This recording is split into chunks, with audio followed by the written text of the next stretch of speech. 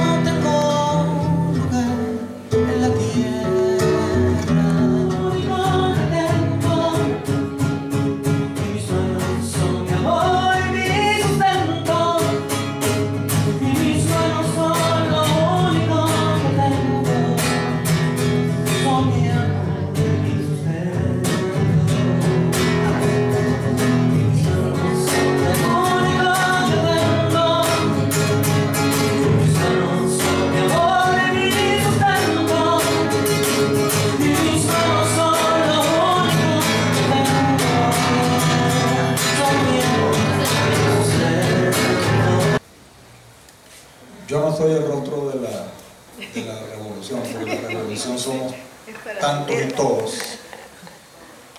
Pero sí quiero que si algo está cercano al rostro de esa revolución, no solamente de la bolivariana, venezolana, es la revolución de Latinoamérica, que es la revolución humana, son estos tres jóvenes y gustan acercarse por aquí.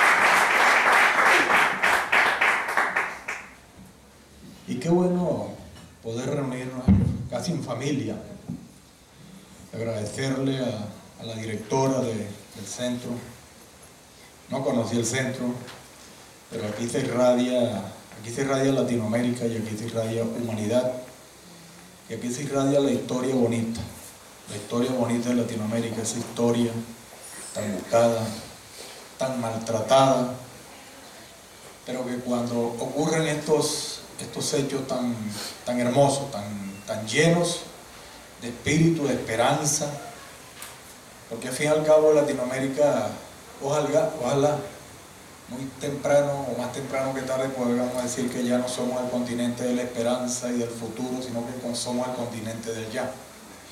Pero para eso hay que resistir mucho y hay que luchar mucho. Y dentro de esa lucha, dentro de esa lucha, por supuesto, resalta porque creo que no hay más rostro de esperanza en la humanidad que el rostro de un niño y que el rostro de un joven. Y sin más, son jóvenes que se dedican y han entregado ya su vida a una profesión quizás la más humanista, quizás la más entregada, quizás la más bonita de todas las profesiones, la profesión de la medicina.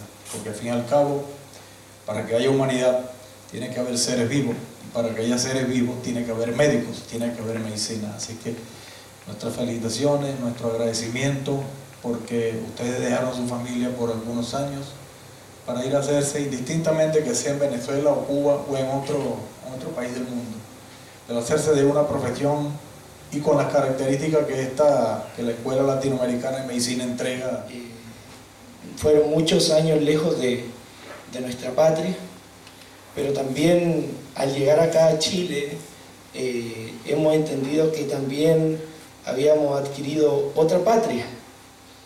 Y cuando me refiero a otra patria no es solo a Venezuela, sino que es la patria latinoamericana, la patria mundial, la patria que son cada persona que sufre a lo largo del mundo por un sistema neoliberal eh, totalmente eh, injusto, abusivo, que ha hecho que nuestra raza, nuestra especie, eh, viva en situaciones muy precarias, lo vemos a nivel global.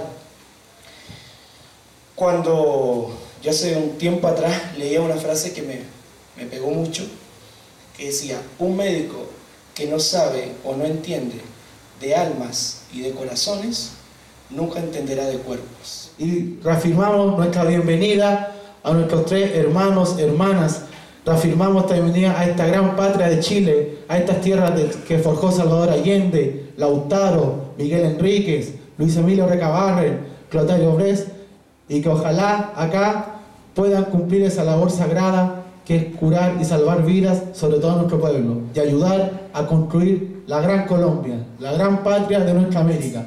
Así que compañeros, los invitamos a todos a celebrar un vinito de honor, esta gran bienvenida a todos estos tres compañeros. Muchas gracias.